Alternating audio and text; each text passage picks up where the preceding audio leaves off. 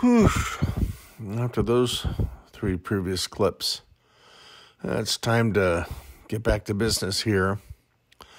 Uh, UFO Leaks has an interesting uh, story. Uh, the 1971 Virginia Giant uh, occupant uh, case.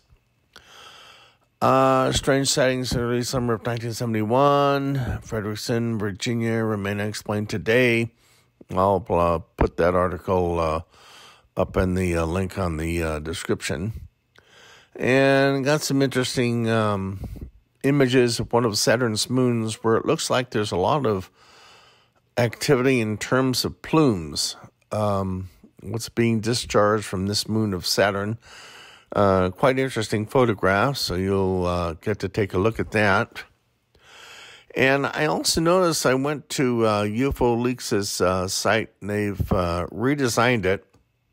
Um, from what I see, they have a lot less stories up now. The ones they have here are all in Spanish, so I don't speak Spanish, so I can't really tell you what the stories are.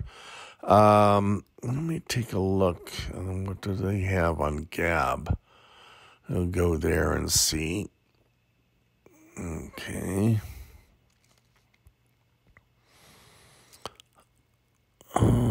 See, what is this all? Corey Goode, Unity in the Community. Well, I'm not going to even address that at all because I don't believe in any of that 20 and back bullshit stuff. Uh, let's see. On their um, Gab page here, they've got uh, information on documentary on the Anunnaki. And uh, so that's quite uh, interesting. And been catching up on uh, Project Blue Book on the History Channel. Um, part one, part B of Roswell. Those were good. Uh, they had one of something about a uh, UFO event in uh, Kentucky and aliens coming out and in a forest and attacking a family in their cabin. That was a little on the pokey side.